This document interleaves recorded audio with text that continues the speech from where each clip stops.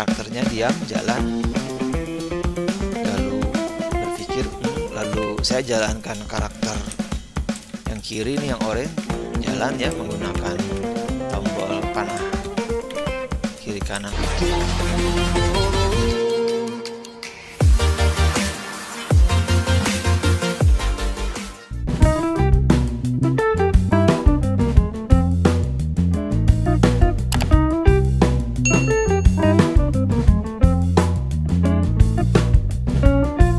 Assalamualaikum warahmatullahi wabarakatuh.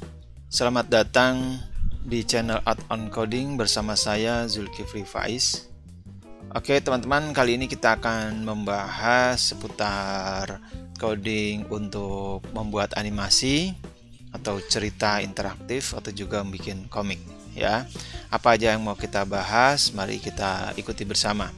Sebelumnya mari kita lihat animasi sebagai berikut jadi ketika dimulai ini karakter yang sebelah kanan hijau berbicara lalu kemudian karakter yang pakai baju oranye ini ini kita kendalikan menggunakan tombol kiri kanan atas dan bawah ya. Ketika saya menekan tombol atas maka size dari karakternya uh, berkurang atau mengecil ya.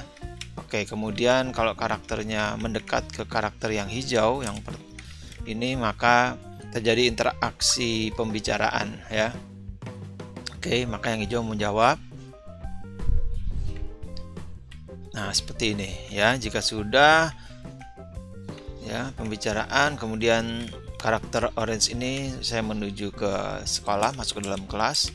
Di sini ada sensor pintu yang kalau menyentuh nanti karakternya langsung menghilang.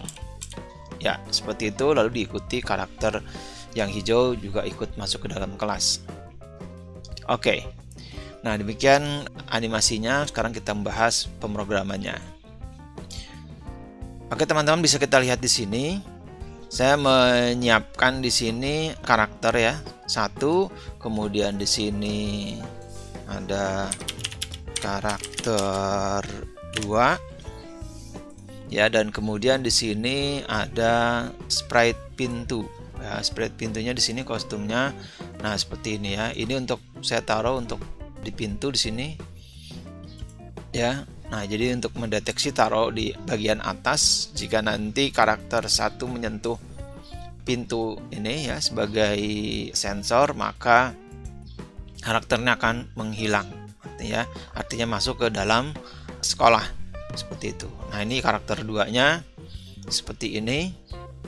Ya ini karakternya teman-teman saya membuat di pixel art di sini.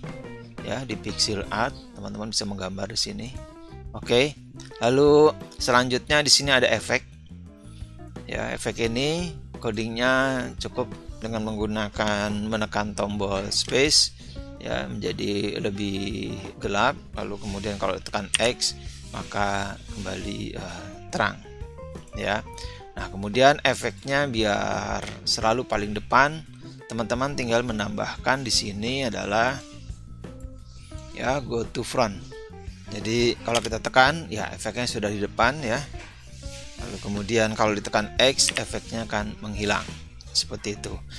Dan kemudian di stage sini ini saya membuat ada ya mengambil dari sketch ini ini untuk gambar yang untuk latar sekolahannya ya. Oke, mari kita lihat uh, pemrogramannya. Nah, saya rapihkan dulu dan saya urutkan biar nanti teman-teman bisa uh, paham. Ya.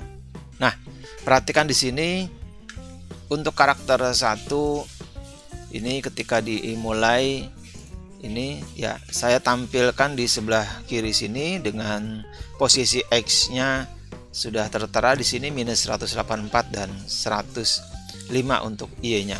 Ya, lalu kemudian arahnya point directionnya ke sebelah kanan 90 ini. Lalu kemudian set size-nya karakternya saya besarkan 400% dan saya munculkan. Maka seperti ini. Ya, ini kalau saya tarik di sini, saya balikkan lagi ada di sini. Lalu kemudian pemrograman di bawahnya yang forever ini ini saya membuat fungsi di mana untuk kendali geraknya ya teman-teman bisa lihat dan teman-teman bisa lihat pembahasan saya sebelumnya tentang kendali gerak ya ya di backpack juga ada. Nanti teman-teman bisa lihat di sini. Ya saya sudah membuat sudah menyimpan backpack di sini banyak. Dan salah satunya adalah backpacknya tentang kendali di sini ya. Nah ini ada kendali satu ada kendali dua ya. Nah kendali saya gunakan kendali satu di sini di backpack saya. Dan codingnya uh, sebagai berikut.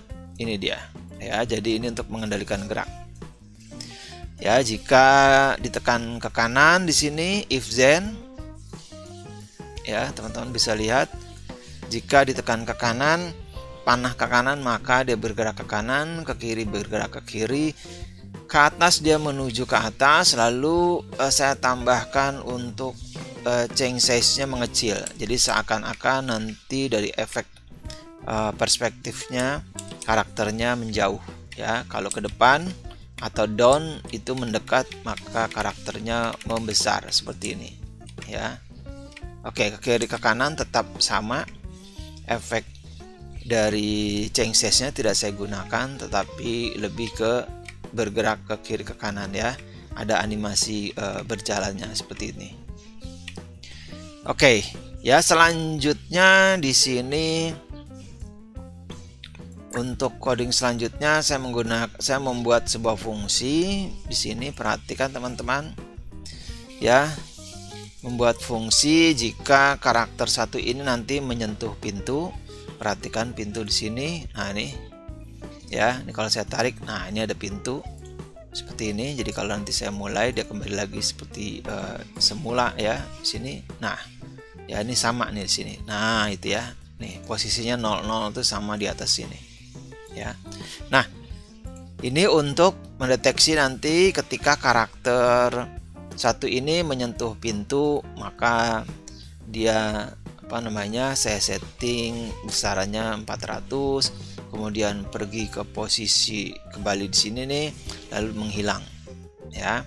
Lalu setelah itu membroadcast ya membroadcast pesan 2 yang nanti pesan ini diterima oleh karakter 2 untuk selanjutnya diteruskan karakter 2 berjalan juga menuju ke pintu. Nah, ini dia. Perhatikan di sini nah. Ya, jika nanti karakter pertama sudah masuk ke kelas, maka otomatis karakter 2 akan mengikutinya. Ya. Nah, semacam ini.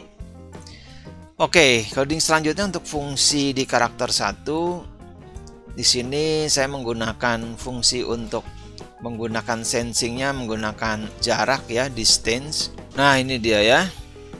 Hmm, tidak ngelihat dari tadi ya.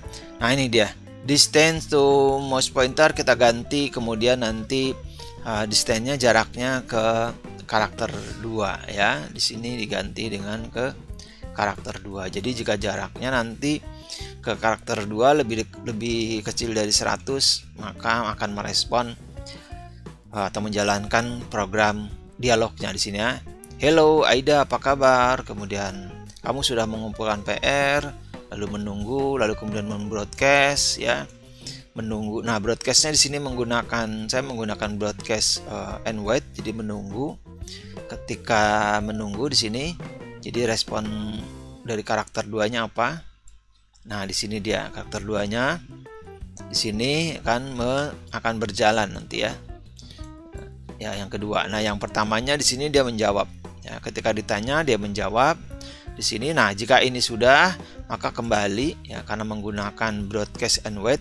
Jadi menunggu reaksi dari karakter 2 sampai selesai. Jika sudah selesai, maka akan melanjutkan program di bawahnya menunggu lalu dijawab, "Wah, oke, okay, wah seru pastinya." Ya lalu kemudian menunggu dan menstop scriptnya ini ya agar tidak melakukan dialog berulang-ulang ya jadi cukup sekali saja. Oke. Lalu untuk pintu di sini hanya memposisikan pintunya di kosong-kosong jadi sama dengan gambar di stage-nya ya. Lalu karakter 2 di sini saya uh, menggunakan saat bendera hijau. Ya dua di sini perhatikan posisi langsung di sebelah kanan ya.